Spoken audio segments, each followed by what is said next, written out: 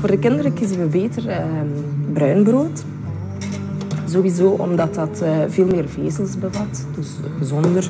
Vitaminegehalte is ook veel hoger in uh, bruin brood.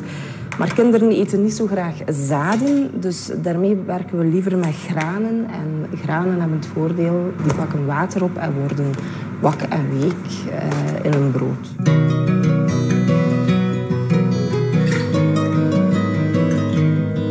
Wat belangrijk voor mij is eigenlijk dat zij bruine boterhammen meekrijgen. Uh, want men weet van bruin brood dat de kinderen dan minder op honger hebben op school.